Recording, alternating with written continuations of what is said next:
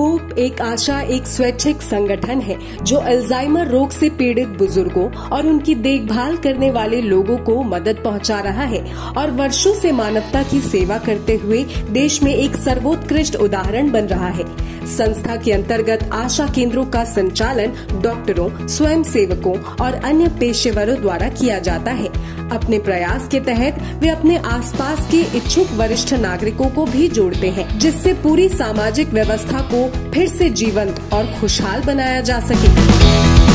उत्तर प्रदेश के महोबा में एक दिव्यांग उत्तम सिंह यादव ने सभी बाधाओं को पार करते हुए अपने दोनों हाथों द्वारा एक पहाड़ से सिर के बल अवस्था में नीचे उतरने का विश्व रिकॉर्ड बनाया है।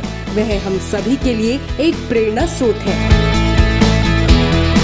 डिजिटल इंडिया के विजन को पूरा करने की दिशा में झारखंड के खलारी में स्थित उच्च माध्यमिक सरकारी स्कूल अपने छात्रों को डिजिटल शिक्षा प्रदान कर एक शानदार उदाहरण बनकर उभरा है।